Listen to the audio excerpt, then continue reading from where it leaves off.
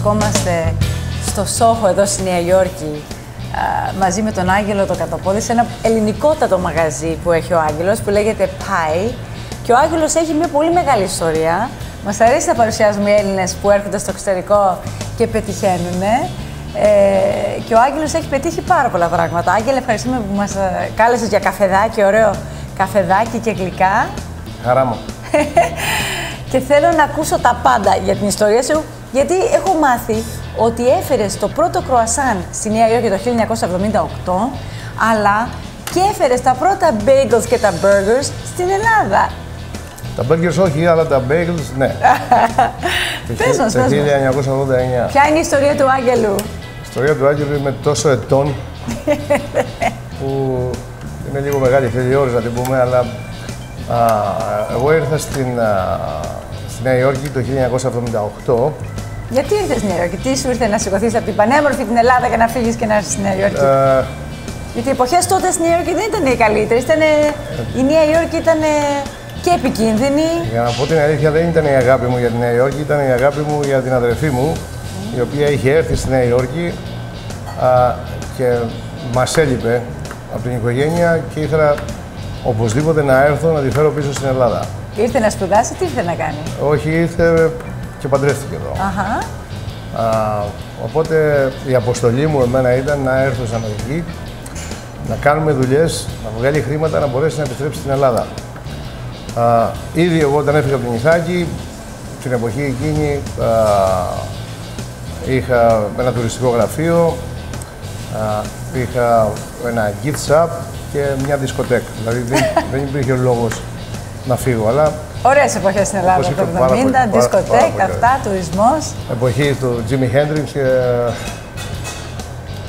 Σαντάνα εκείνη την εποχή. Ε, Και έφυγες λοιπόν από την Ιθάκη να φέρεις πίσω σαν τον Οδυσσέα τον εαυτό σου και την αδερφή σου. Exactly. Ε, Ήρθα εδώ, κάθισα 10 χρόνια και στο διάστημα αυτό των 10 ετών, που βέβαια ποτέ δεν έλειψα από την Ελλάδα και χειμώνα και καλοκαίρι δύο μήνες, γιατί είχα και τις δουλειές ε, στην Ιθάκη. Ε, Έφτιαξα το πρώτο μαγαζί στο Μαχάταν, στην έκτη λεωφόρο και 43 δρόμους. Wow, Κέντρο, μέσα στο τότε. χάος, 42-43 δρόμους το 1978. Ναι. Και ε, στο μαγαζί αυτό πουλούσα, ε, εκτός από τις σαλάτες και τα σάντουιτς, ήταν το πρώτο μαγαζί που είχε βγάλει τα κουρασάνς στον δρόμο. Δηλαδή μπορούσε μέσα να μπεις και να πιεις ένα καφέ και ένα κουρασάν. Δεν υπήρχαν κουρασάν την εποχή εκείνη. Όχι ότι τα εφήβρα εγώ, ούτε στην Ελλάδα. Ε, η Ελλάδα είναι αυτή που έφτιαξε το κουρασάν. Όπως ξέρουμε οι Γάλλοι ήταν αυτοί, αλλά έτυχε να βρω κάποιον α, ζαχαροπλάστη, ο οποίος δούλευε στην Ελλάδα, ήξερε πολύ καλά τα κουρασάν και αρχίσαμε να κάναμε τα κουρασάν. Από εκεί εκείνη τα κουρασάν για τη Νέα Υόρκη ήταν κάτι πρωτόγνωρο. Δηλαδή δεν ξέρανε ούτε καν το όνομα. Μου τα λέγανε half moons και horseshoes και μέχρι να μάθουν τι ακριβώς ήταν.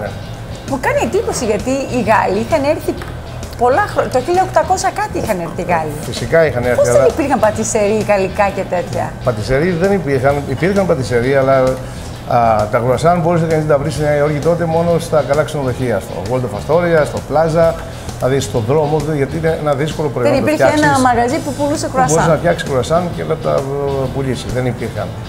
Τελικά την αδελφή σου του κατάφερες να τη φέρεις πίσω, στην Ιθάκη. Ε, Γιάννα μου, τα κατάφερα.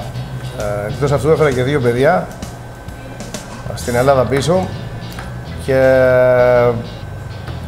έπρεπε κάτι να κάνω την εποχή εκείνη, οπότε άρχισα να φτιάχνω τώρα το αντίθετο. Ενώ στην Αμερική έκανα τα κουρασάν, στην Ελλάδα έφτιαξα τα bagels. Α, λοιπόν, και έφερες τα μπέικο στην Ελλάδα. Έφερα τα bagels τα στην Ελλάδα ξέρανε το τα μπέικο.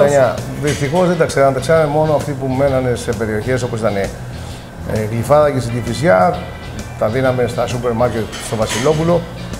Και Άρεσε, μιλώνταν- αρέσει το μπέικο στην Ελλάδα, τους Αρέσει. αρέσει. Και τώρα ακόμα πιο πολύ, γιατί από ό,τι βλέπω τώρα όλοι το παρουσιάζουν τον μπέικον στην Ελλάδα σαν α, το καινούριο ψωμάκι για να φτιάξει κανείς α, Σάντουιτς. σάντουιτς. Ναι. Α, Πολύ ωραίος ο καφές. thank Πρέπει να you. το πούμε και Ευχαριστώ. αυτό. Να είσαι καλά στην υγεία σου. Και έτσι α, μαζί με τα cookies, γιατί το, Cookies and bagels για from το New μα- για- York γιατί το μαγαζί στην, α, to Greece. στην, Ελλ- στην Αμερική το λέγανε The Cookie Odyssey. Λόγω του ότι κατάγομαι από την Ιθάκη, Odyssey, Ωραία. Οδυσσέας, Cookies, ο- The Cookie Odyssey. Και έκαναμε χοντρική στα μαγαζιά στην Ελλάδα, στα ζαχαροπλαστεία και στα καφέ, κούκκις. Κάποια στιγμή την πούλησα την εταιρεία. Α, μετά ασχολήθηκα, κάναμε μια εταιρεία με τα pita chips στην Ελλάδα και μετά ξαναπέστρεψα, γιατί τα παιδιά μου ήρθαν στην Αμερική και φτιάξαμε α, ένα κατάστημα στην Αστόρια, το Αρτόπολης. Όλοι ξέρουν για την Αρτόπολη. Είναι ε, το μοναδικό, νομίζω, ελληνικό κατάστημα που πουλάει τυρόπιτες, μπακλαβάδες, τώρα και βέβαια το Pi, γιατί θα μας πεις και για αυτό το concept που έκανες ναι, τώρα ναι. στο Σόχο. Έφερες και την Ελλάδα στο Σόχο που δεν υπήρχε ποτέ. Ε, αλλά η Αρτόπολης είναι διάσημη. Είναι ναι και εντάξει, αυτό το οφείλω και στους α, φίλους μου και συνεταίρους α, που το κάναμε μαζί το Αρτόπολης και μετά το Αρτόπολης πήγα στην Ελλάδα και άρχισα μια καινούργια λυσίδα με μπέργκερ. Το Bluefield Burger. Bluefield Burgers. Uh, και η φίλη μας η Νόνη έχει ένα Bluefield Burger στις Πέτσες, γιατί έχουμε δει και ναι. πολλά franchise. Κα, κατά σύμπτωση όλα τα μαγαζιά που έχουμε ανοίξει τελικά είναι σε νησιά. Δηλαδή το πρώτο μαγαζί που άνοιξε ήταν στην Ιθάκη. The Greek Islander. Islander, ναι. το δεύτερο μαγαζί που άνοιξα από την Ιθάκη ήταν στο Manhattan Island. Το τρίτο μαγαζί που άνοιξα ήταν στο Long Island. Το τέταρτο μαγαζί που άνοιξα ήταν στις Πέτσες, το άνοιξε η Νόνια η Δούνια. Και το πέμπτο ήταν στο Μπαχρέιν. Wow. Οπότε ελληνικά, ελληνι... δεν είναι ελληνικό concept, αλλά έχεις μαγαζιά, ο Έλληνας έχει μαγαζιά σε πάρα πολλά νησιά του κόσμου. Και ναι. φέρνεις και concept αμερικάνικα στην Ελλάδα και σε άλλες χώρες και φέρνεις τα ελληνικά concept στην Αμερική. Πες μας λοιπόν για το Pi. Και ευελπιστώ τέλος του μήνα να κλείσω σε ένα άλλο νησί το Pi να γίνει εκεί. Πού; Συγκεκριμένα στις Μπαχάμες. Μπαχάμας! Καλά, να το δω κι αυτό. να πηγαίνουμε Μπαχάμας να τρώμε τυρόπιτες. Μετά θα έχουμε συμπληρώσουμε άλλο ένα νησί ακόμα, να φτάσουμε στα Τάνισα και νομίζω τελείωσα. Πες μας για το Πάι, λοιπόν. Ήρθε στο Σόχο, είδες ότι δεν υπάρχει ελληνικό μαγαζί. Ποτέ δεν υπήρξε, μάλιστα, νομίζω, ελληνικό μαγαζί στο ναι. Σόχο. Και ήθελα να κάνω ένα κατάστημα πιο εύκολο και πιο καινούριο από αυτό που φτιάξαμε στην Αστόρια, το, το Αρτόπολης. Οπότε έχει το ίδιο concept, σαν, σαν την Αρτόπολη, αλλά πολύ έτσι, πιο, είναι κουλτουριάρικο, λέει Pi, είναι πολύ ωραίο το, το branding. Ναι. Και πώς το, το έχουν ε, αποδεχτεί... Το έχουν, ο κόσμος το έχει δεχτεί πάρα πολύ καλά. Τώρα είμαστε, έχουμε ανοίξει σχεδόν ένα χρόνο. Πηγαίνουμε πάρα πολύ καλά, δόξα τω Θεώ. Ναι. Και οι συνταγές όλες από την Ελλάδα. Οι συνταγές από την Ελλάδα. Έχουμε πολύ καλό γιαούρτι. Έχουμε όλα τα α, ελληνικά dessert όπως είναι οι μπακλαβάδες, γαλακτομπούριγκα. Και τα μαγειρεύετε όλα εδώ. Όλα εδώ. Είδα, ο μπακλαβάς μόλις βγήκε από το ναι. φούρνο και μας χομυρίζει στο μαγαζί. Εδώ, εδώ. Εδώ γιατί δεν είναι και πάρα πολλά τα πράγματα που κάνουμε. Δεν κάνουμε cakes, δεν κάνουμε pastries, γαλλικά και τέτοια. Ό,τι κάνουμε είναι ελληνικό. Παραδοσιακό ελληνικό γλυκό. Ακριβώς και πουλάμε και κάποια και ελληνικά προϊόντα. Έρχονται και τους μαθαίνει στην ελληνική κουζίνα τα γλυκά. Φυσικά, γιατί έχουμε αναγάγει λίγο και την ελληνική κουζίνα σε πίτα. Δηλαδή, για να πουλήσουμε μουσακά τον λέμε μουσακά πάει. Που Απλώς του βάζουμε φύλλο και τον λέμε μουσακά πίτα. Έχεις ε, τυρόπιτες, έχεις ε, μουσακά πάι. Δεν έχω ξαναδεί πίτα με μουσακά, φανταστικό. Μπράβο. Έχεις κάτι παστίτσιο. το παστίτσιο, gluten free. Είδα και gluten free gluten... τυρόπιτα. Τι είναι αυτό; Gluten free μακαρονόπιτα. Μακαρονόπιτα. Με μακαρόνια που είναι gluten free. Δηλαδή και έχεις συνταγές και από την Ιθάκη ή είναι έτσι γενικά; Συνταγές από την Ιθάκη έχουμε μια πίτα που κάνουμε που είναι σαν την κεφαλονίτικη που είναι κρεατόπιτα. Mm -hmm. Κάνουμε κάποιο ριζόγαλο που τέλος πάντων είναι μια συνταγή της μητέρας μου. Ωραία. Α... Και έχεις φέρει γεύση Ελλάδας στη Νέα Υόρκη. Ναι. Δεν μου λες, Άγγελε, ε, μετά από τόσα χρόνια που έχεις ε, καταπληκτικά καταστήματα και στην Ελλάδα και είχες φύγει από τη Νέα Υόρκη, γιατί ξαναγύρισες τώρα στη Νέα Υόρκη; Ξαναγύρισα γιατί είναι τα παιδιά μου εδώ τώρα. Α, στο μαγαζί εδώ εργάζεται η κόρη μου, η Ανθή. Ανθή Αγγέλου, το πάντων. Τραγουδάει βέβαια, αλλά είναι και στο μαγαζί και το μάνατζερ και το επιβλέπει. Και είμαι ένας άνθρωπος που δεν θέλω να καθίσω. Αγαπάω το φαγητό, αγαπάω την ε, κουζίνα και νομίζω δεν θα σταματήσω εκτός αν με σταματήσει ο από πάνω. Ελπίζω να μην σταματήσεις τίποτα ποτέ γιατί φέρνει πολύ ωραία πράγματα και τα καταστήματα που φτιάχνεις είναι καταπληκτικά. Και νιώθουμε Ελλάδα όταν ερχόμαστε να πιούμε καφέ στον Άγγελο. Και βλέπω και κάτι, κάνεις ένα πολύ ωραίο έργο. Φέρνεις πολλά παιδιά από την Ελλάδα και τους έχεις δώσει δουλειές. Ναι, γιατί όχι. Γιατί Αυτό σε τιμάει πάρα πολύ. Ευχαριστώ πολύ. Και πώς νιώθεις τώρα με την κατάσταση στην Ελλάδα, σαν Έλληνας που έχει φύγει τώρα από την Ελλάδα; Νιώθω ότι ε, δεν μπορώ να πω κανείς αν μπορέσει να φύγει από την Ελλάδα, φύγει, αλλά τα πράγματα στην Ελλάδα είναι πάρα πολύ δύσκολα τώρα. Πάρα πολύ δύσκολα.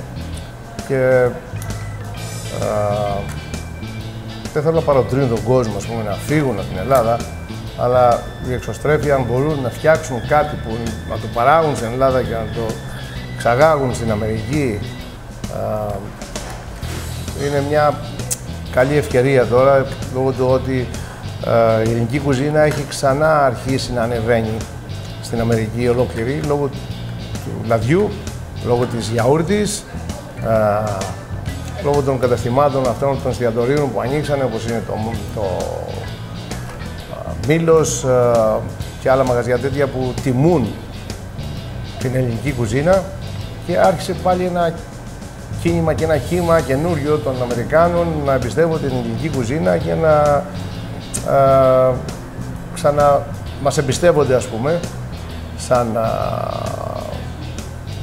σαν κουζίνα κατά πρώτον αλλά και ε, τη φιλοξενία μας. Γιατί και εδώ όταν έρχεται κάποιος να ψωνίσει, τον γερνάμε, του δίνουμε να δοκιμάσει, να αγοράσει, αγόρασε, αν δεν αγοράσει, αλλά είμαστε σίγουροι ότι όταν θα φύγει έξω θα ξαναγυρίσει πάλι να, να πάρει κάτι από εδώ.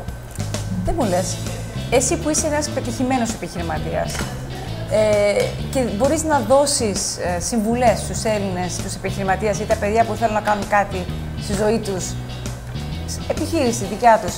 Τι συμβουλές θα έδινες τώρα στα νέα παιδιά στην Ελλάδα που θέλουν να βγουν έξω στον κόσμο και να κάνουν επιχειρήσεις; Πόσο εύκολο είναι, τι μπορούν να κάνουν, τι συμβουλεύεις; Εύκολο δεν είναι, αλλά συμβουλεύω σχεδόν όλους αυτούς που θέλουν να ασχοληθούν και εδώ που τα λέμε για ανεξαρτήτου επαγγέλματος, ε, όταν ήρθα στην Αμερική το 1978, ε, η πρώτη κουβέντα που άγασα από έναν Εβραίο όταν πήγα να αγοράσω ένα φούρνο από αυτόν μου λέει είναι ότι στο βλέπω έξυπνο, μπορείς να κάνεις, να πετύχεις, αλλά πρόσεξε ότι στην Αμερική you can fool the public. Δηλαδή δεν μπορείς να κοροϊδέψεις τον κόσμο.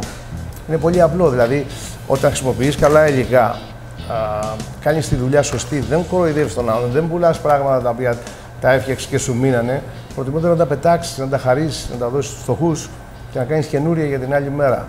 Δηλαδή η ποιότητα μετράει πάρα πολύ. Δηλαδή έτσι κερδίζεις τον πελάτη και αυτό συμβουλεύω σε όλους δηλαδή. Ανεξαρτήτως είπαμε αν είναι η δουλειά που κάνουν τρόφιμα ή οποιαδήποτε άλλη. Δηλαδή πρέπει να, η δουλειά να γίνεται σωστά, να μην κοροϊδεύει δηλαδή. Να, ο άλλος που αγοράζει κάτι από σένα ή που παίρνει κάτι από σένα να είναι valuable και να είναι αυτό που αξίζει χωρίς να πληρώνει πάρα πολλά χρήματα, δηλαδή money for value. Α, τα παιδιά που έρχονται από την Ελλάδα είναι δύσκολο γιατί α, από ό,τι καταλαβαίνω στη Νέα Υόρκη η κατοικία και η διαμονή είναι τόσο α, υψηλή τώρα που κάποιος για να έρθει να ενοικιάσει ένα διαμέρισμα και πρέπει να πληρώσει 2 και 3 χιλιάδες δολάρια το μήνα δεν είναι αρκετά τα χρήματα που παίρνει για να μπορέσει να καλύψει αυτά τα έξοδα. Οπότε θα πρέπει ή να ακολουθήσουμε άλλες χώρες, Αγγλία που είναι πιο κοντά, Γερμανία, Σουηδία, όπως έχουν πάρει πάρα πολλά παιδιά εκεί. Και Αμερική βέβαια, αν έχουν κάποιοι συγγενείς ή κάποια παιδιά που είναι παρέα να μένουν μαζί, να μην πληρώνουν τόσα πολλά χρήματα για διαμονή τουλάχιστον. Γιατί φαγητό, ένα πιάτο φαγητό θα το έχουν και από τους εστιατόρου που θα δουλεύουν. Αλλά όποιος θέλει πετυχαίνει. Αρκεί να βάλει στόχο και να πιστεύει αυτό που κάνει. Πιστεύει και ότι δεν μπορείς να κοροϊδέψεις τον κόσμο. Δηλαδή αυτός είναι γνώμονας. Είναι πηξίδα. Δηλαδή you can't fool the public. Τελείως. Δεν μπορείς. Άγγελε, είσαι αγαπητός σε όλο τον κόσμο. Όλοι σε αγαπάνε. Χαιρόμαστε που έρχεσαι και φτιάχνεις τόσο ωραία καταστήματα. Και επειδή έχω τύχη να, να δω και τι δουλειές κάνεις στην Ιθάκη, γιατί κάνεις πάρα πολλά πράγματα για να αναπτύξεις και την Ιθάκη. Να πούμε ότι έφερες και τη Μάρτα Γκρέιχαμ ε, πριν δύο χρόνια και κάνεις πάρα πολλά πράγματα και events και φεστιβάλ. Γι' αυτό σε ετοιμάει. Εμείς χαιρόμαστε. Συγχαρητήρια για όλα που κάνεις. Θα σε υποστηρίξουμε όλοι. Ευχαριστώ και λένε ότι κάνεις το καλύτερο μπακλαβά. Λοιπόν, και πριν κλείσουμε θέλω να μας πεις είναι, ποιο είναι το μυστικό για καλό μπακλαβά. Το βούτυρο φυσικά. Το βούτυρο και πρέπει να είναι ελληνικό. Ελληνικό. Ευχαριστούμε, Άγγελε. Και εγώ, και εγώ για να μου είσαι καλά.